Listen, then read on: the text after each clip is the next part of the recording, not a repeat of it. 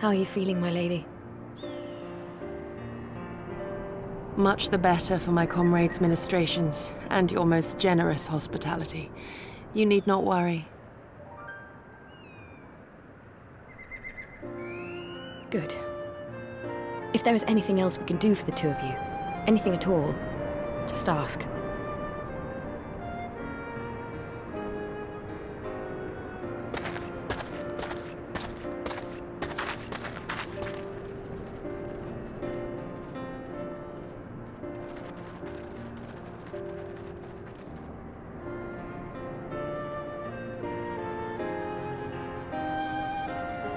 Stare any harder and you're like to burn a hole in them.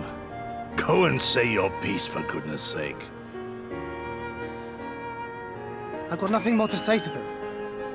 I'm going to find out how the others are getting on.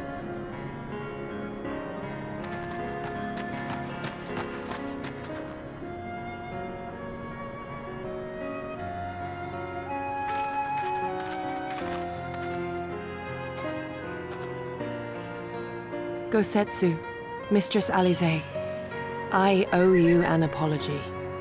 I acted with reckless disregard for my own safety, and endangered I know not how many others in so doing. Scorning your wise counsel, I knowingly defied our master's wishes, and left you no choice but to follow suit. Nonsense. I followed our master's wishes to the letter. Consider once more his words, and the intent therein. In offering his head, he but sought to shield his people from harm, loyal retainers included. You must value your life more highly, Shadow Walker.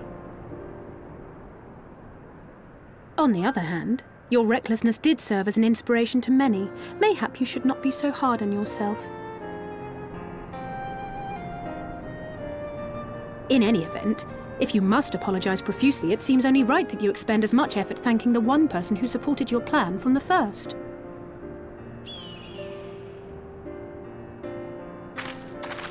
That it does. There are no words which will suffice. But thank you.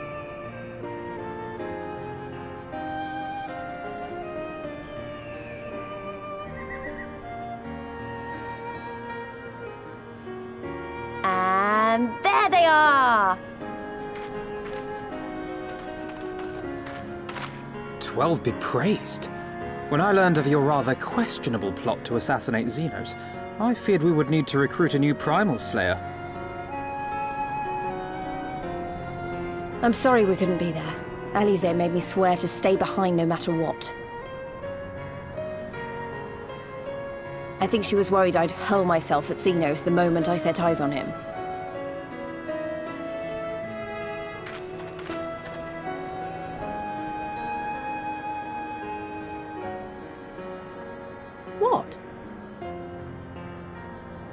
Forgive me for changing the subject, but now would seem a good time to discuss where we go from here.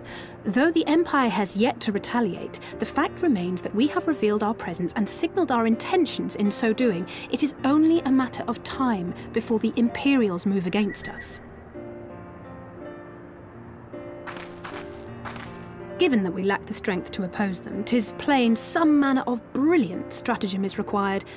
Therefore, I yield the floor to the preeminent tactician of our time with whom I was privileged to share a room.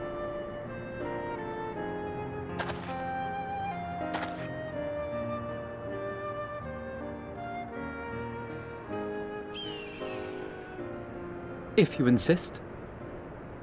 While in Kugane, we debated a number of approaches and were eventually forced to concede that we cannot look to the Alliance for aid.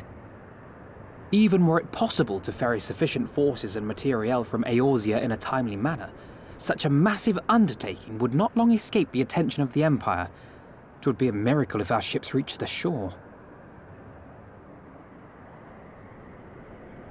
Fortunately, according to Tataru and Hancock's intelligence, the Empire has withdrawn most of its forces from Doma in the past year, leaving her relatively unguarded.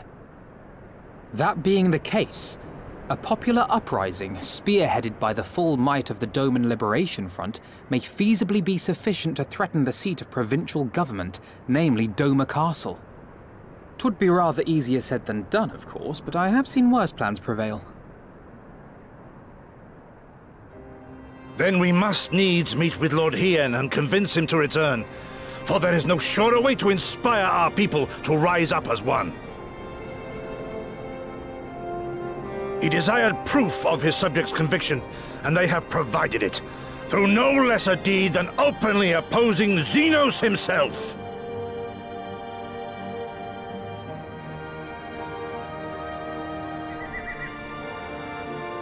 It will work. It has to work. And next time, we will defeat him.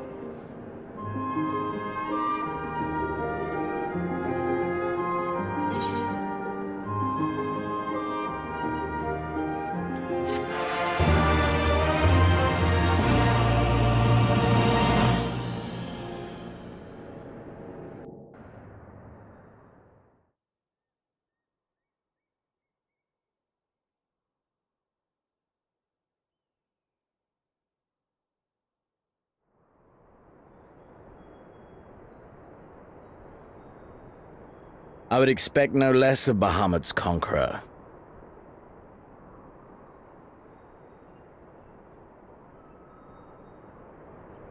Prepare the airship. His Radiance will not object. We have fulfilled our obligations here. I would see this prize for myself.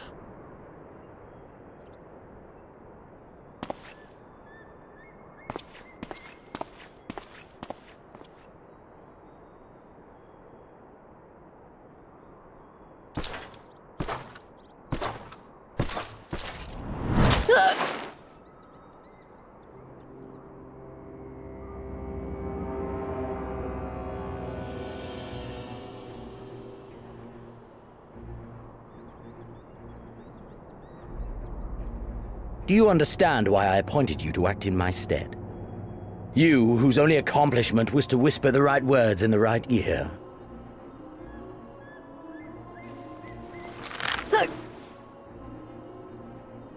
Because of your petty hatreds. They render you the perfect instrument to bleed your kinsman of hope. To make an example of Doma. Such as was ordered Listen well.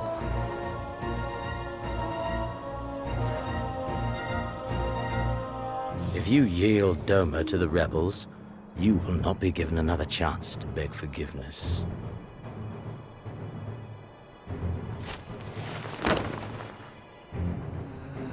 Do your duty, now.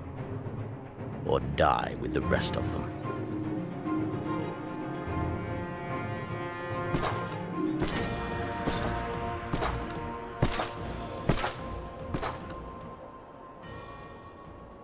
Are you all right, my lady? That was uncalled for. Oh!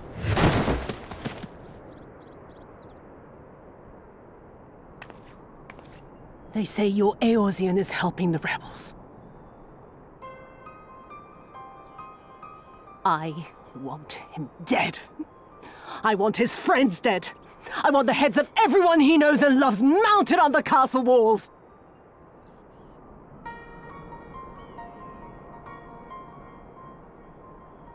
You mean... You mean I can finally go after him?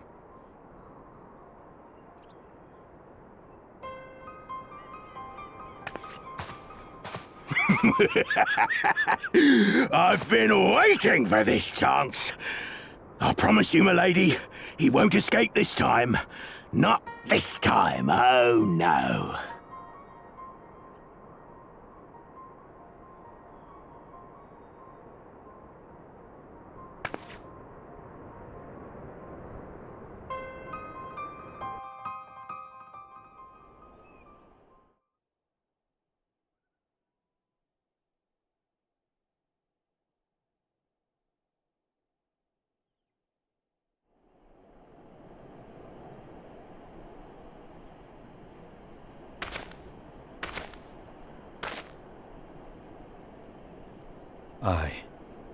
This is the place.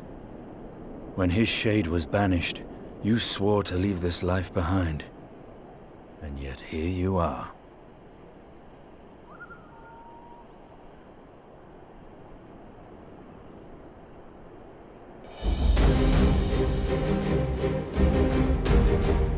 Yet, if this be the work of the Eyes, what choice do you have but to end it? Say. Damn you, Alphinaud.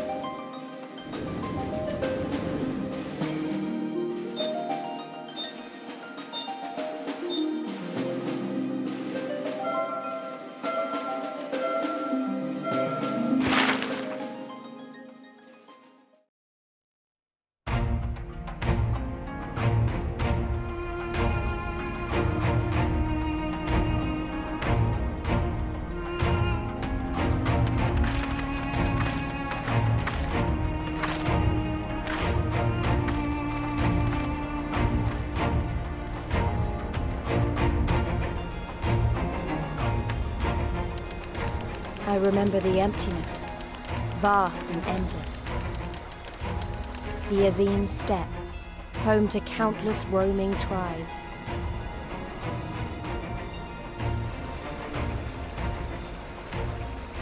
A sacred land, watched over by elder gods. Here, we would find Doma's salvation. With the wind at our backs, we walked on, in search of hope, in search of him.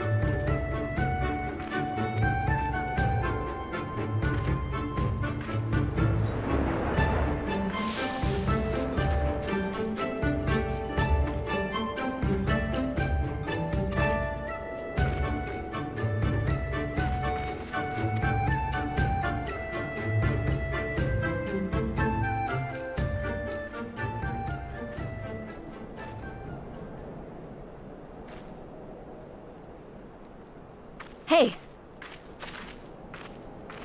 How goes the search? Any luck?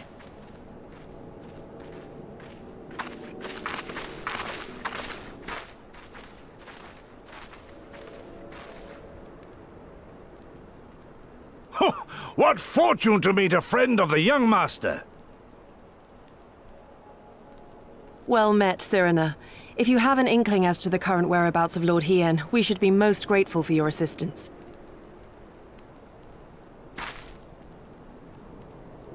Oh, please! It is I who should be grateful. Hold! What is this? I came first, you second!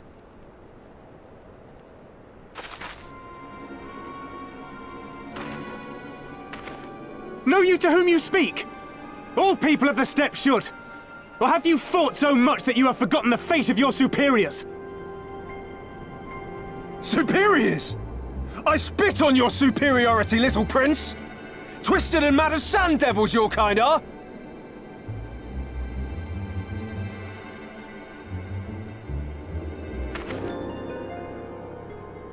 Those two don't seem to like each other very much. Those boys are of the Oronir and Dotharl, the two strongest tribes. The children of Azim are destined to rule, so they declare to all who will listen. Their word is law, for now. Grand, flamboyant fighters, but deadly, very deadly. He prances as a horse, as do his brothers after their many recent victories. The Undying Ones too are strong, fearless, and vicious. They often reigned in the past. Now they are sorely tested.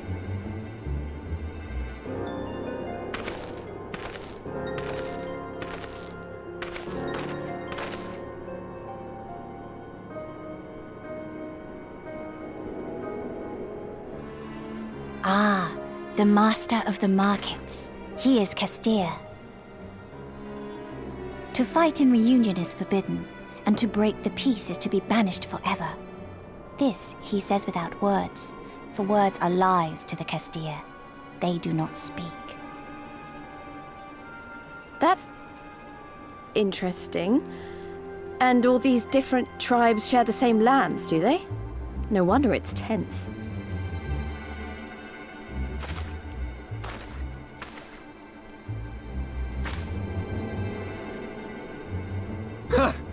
I shall look for you on the field at the Naadam. Mark my words! As shall I. Mayhap I shall take eleven more Dotharl heads to make a dozen with yours. I, I look forward to the day.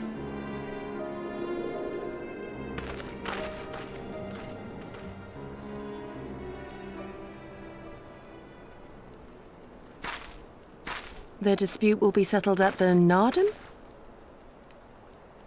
A great battle held on the final day of the Sahan San. During this time, all bonds of hierarchy are broken. All Xaela are equal and free to prepare for the fight.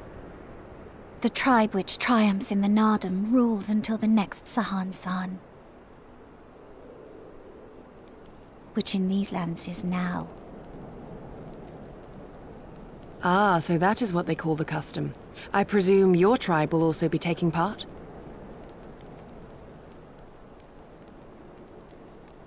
Not all seek the Dawn Throne. Some are satisfied with their lot. Others, like the Kestir, have reason to remain neutral. Them all are lambs among wolves. Long were we content to remain apart and live quietly, but...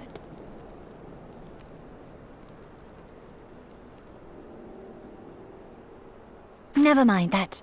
You see Hien, yes? I know where he may be.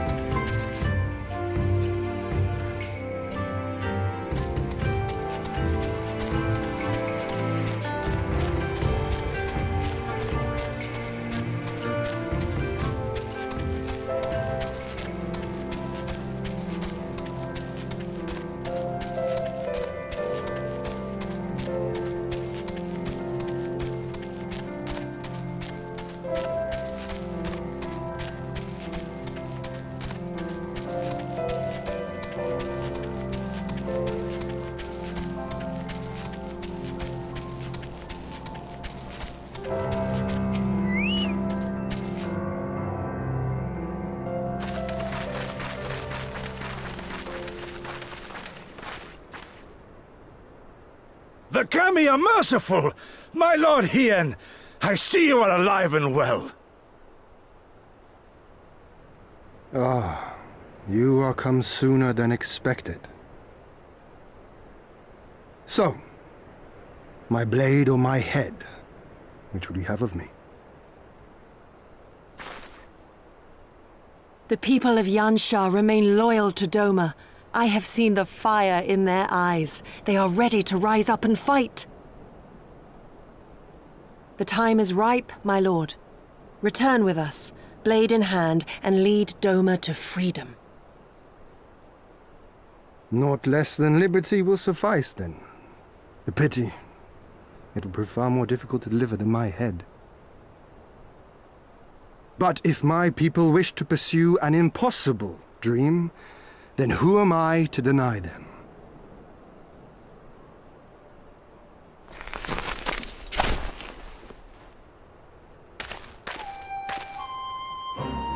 Yugiri!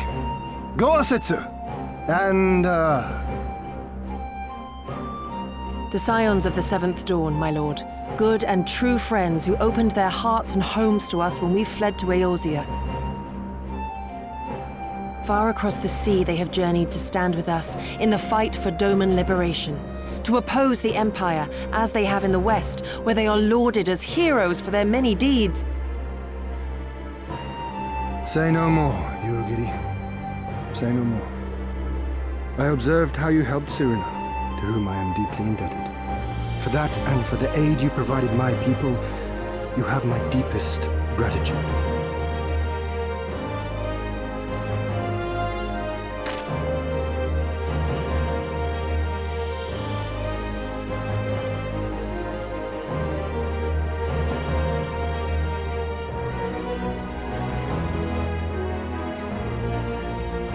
Is no doubting your strength nor your character. It would be my honor to fight by your side.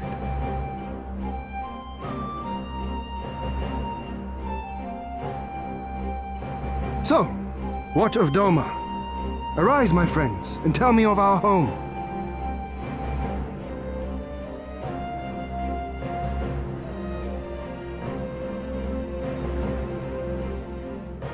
I have made my decision. Yugiri, I bid you return to Yanxia and take charge of our forces in preparation for my homecoming. As for our esteemed guests, I would ask that you remain here with me. I sense you will be a great help in the coming days. Your will is my command, my lord, but how much longer do you intend to stay? Oh, only until I have won the contest? I mean to return at the head of the Xaela army.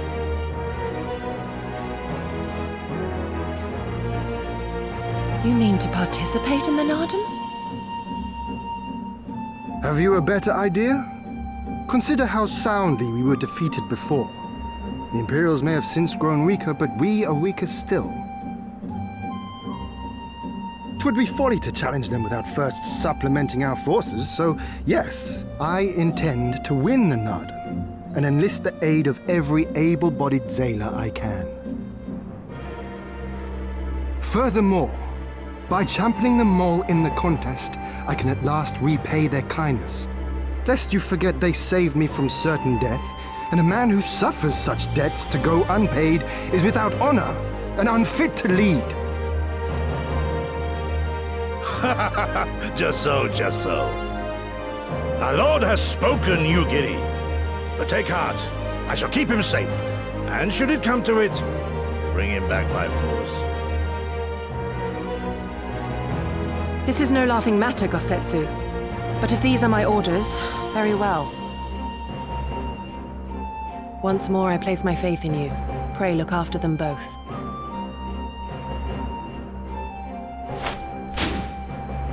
Looks like it's up to us then. Though it does seem a bit risky. Isn't Hien meant to be the next king of Doma or something? So they say. Though in truth I am but a pale reflection of my late father. All the more reason to entreat your assistance.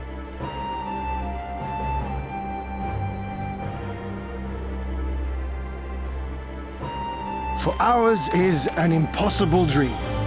to set in motion a revolution that will rattle the very firmament and shake off the yoke of the most powerful empire in the world.